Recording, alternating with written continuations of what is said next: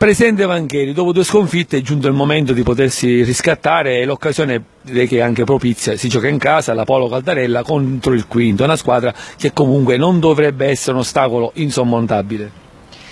Con tutti gli scongiuri del caso ovviamente sei uno sportivo e quindi sai che cosa significa, però certamente ci aspettiamo una, un riscatto, ci, ci aspettiamo una prova di carattere da parte dei ragazzi, siamo pronti per affrontarla. Naturalmente è auspicata la presenza di tanto pubblico anche perché c'è un, un evento importante, vogliamo dirlo? Sì, perché al di là degli aspetti tecnici ai quali siamo, teniamo particolarmente ovviamente, però in questa occasione abbiamo voluto essere presenti con un'iniziativa di solidarietà. Emergency, l'associazione internazionale di Gino Strada, è nostra ospite